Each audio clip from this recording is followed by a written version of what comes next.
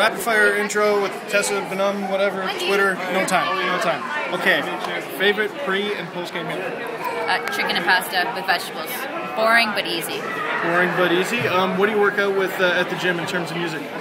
Uh, rock and roll, Tragically Hip, Guns N' Roses, ACDC, all that stuff. What's what's your get amp song?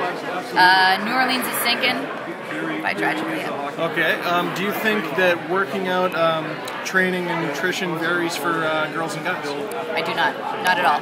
Um, you know, the game's the same. The only thing that's different is the body contact, and hits still happen in female hockey, so it's just a matter of being aware. Um, I think if girls could be as strong as the guys out there, the game would be so fast. Um, unfortunately, we're genetically made different, but at the same time, it's not to say that we can't keep up. I know our national team has uh, beaten the bloody pulp out of a couple of midget AAA teams out west. I won't mention any names, but we've had some fun with them, and in turn, they've given us some great games too.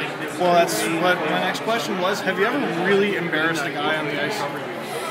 Oh gosh, I'm sure at some point, but um, not on purpose. Not on purpose. Not on purpose. Um, but uh, you know, it's it's kind of like any girl always wants. When you're going up against a guy, you really want to kick his butt. You don't want to beat him. Um, and in turn, that guy really does not want you to uh, beat him or in, in, embarrass him either. So um, it creates a good rivalry and good competition.